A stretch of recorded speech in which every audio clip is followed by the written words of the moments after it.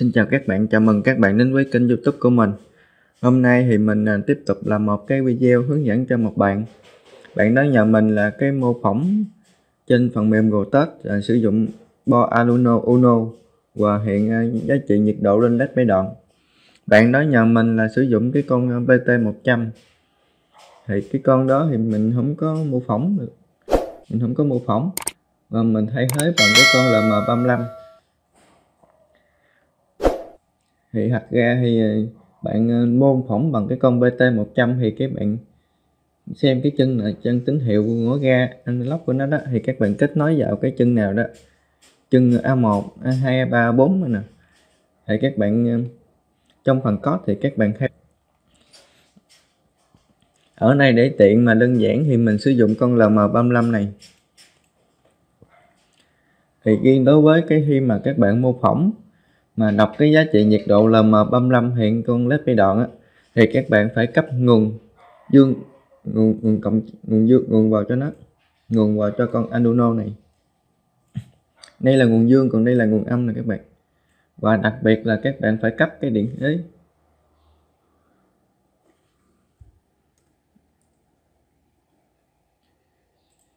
và đặc biệt là các bạn phải cấp cái cái điện thế Wiget này dương vào cái chân quay ghét này. Đây là cái hiện điện thế tham chiếu của con Arduino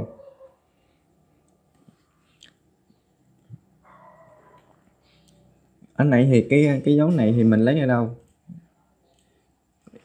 Anh đây mình sẽ hướng dẫn cho các bạn lấy cái dấu debug này. Thì các bạn vào đây này các bạn.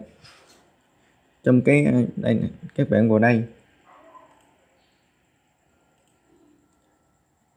Các bạn vào đây và cái dấu điệp bết nó nằm ngay chỗ này nè các bạn. Hàng trên cùng.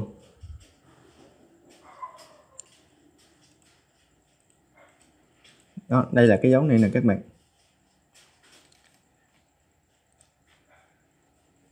Ở đây mình sẽ qua kênh cái phần mềm Arduino để code cho con Arduino này.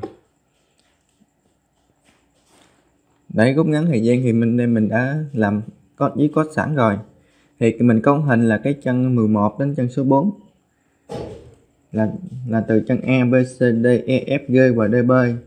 Và mình sẽ nói với con điện trở 100 ohm sau đó mình sẽ nói với chân 11 đến chân số 4 và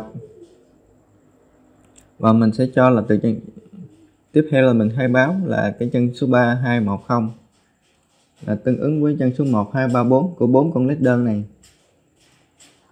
Đây là cái bản mã của con led bay đoạn thì cái phần code này thì mình sẽ để dưới phần mô tả của video thì các bạn có thể tải về để tham khảo. Ở đây mình có một cái này là các bạn, mình sẽ hướng dẫn cho các bạn cái hàm mát này. Tại sao mà mát? Counter 0 đến 308 và 0 150 thì trước tiên thì mình sẽ không có sử dụng cái chương trình này, cái code này. Và mình sẽ biên dịch xuống cho các bạn xem có một số bạn là không thấy cái à, khi mà biên, chạy biên dịch nhấn vào đây để chạy biên dịch mà không có thấy cái file chấm hết, thì các bạn vào file, các bạn vào exforan các bạn tích vào cái à, cái upload và cái hầm, cái này là các bạn, tích vào hai dấu tích này. Và các bạn muốn hiện cái giá thứ tự của cái dòng lệnh code thì các bạn tích vào display line number.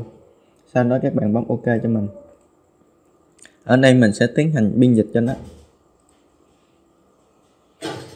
Sau khi biên dịch xong thì mình sẽ copy cái file .h các bạn kéo qua để tìm đến cái file .h của nó. Đây là cái đường dẫn trước file .h các bạn copy. Và các bạn dán vào cái con Arduino này.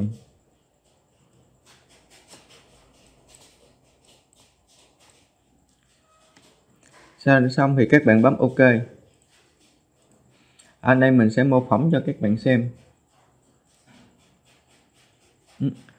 Ở đây thì cái giá trị nhiệt độ của mình là 112 độ, mà đây nó hiện tới 230 độ.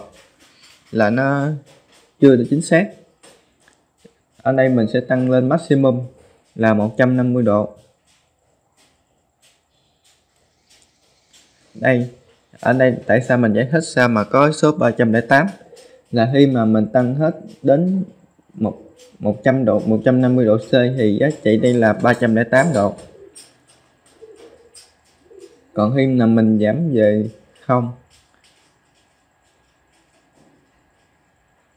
Cái hàm mát là cái hàm mình à, lấy giá trị đầu vào và mình muốn hiện cái giá trị mà từ đâu tới đâu các bạn.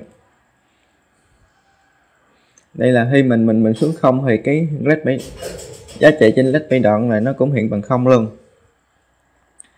ở đây mình sẽ tắt nó đi. Rồi mình sẽ chạy lại. Trên đây là các bạn mình khai báo là counter bằng cái hàm mát. Thì cái giá trị counter này thì mình sẽ cho nó từ, là nó mình muốn chuyển từ 0 đến 308 thành 0 đến 150 độ.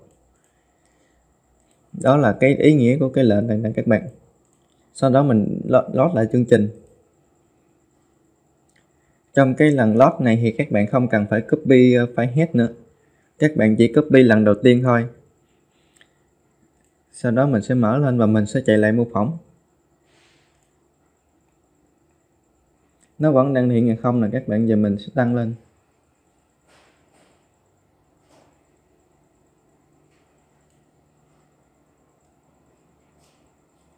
Hiện tại hiện tại là giá trị đây, nhiệt độ là 46 độ và con bên led bị động thì nó cũng hiện 46 độ luôn các bạn.